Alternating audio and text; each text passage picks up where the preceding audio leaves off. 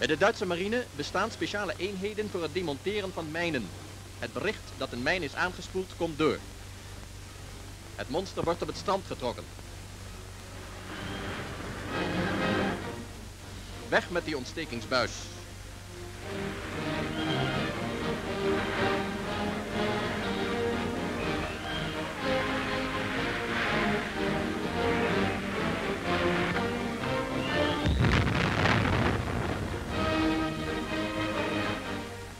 Luitenant ter zee en korporaal. Samen hebben zij reeds 2600 mijnen onschadelijk gemaakt. De lading wordt tot ontploffing gebracht.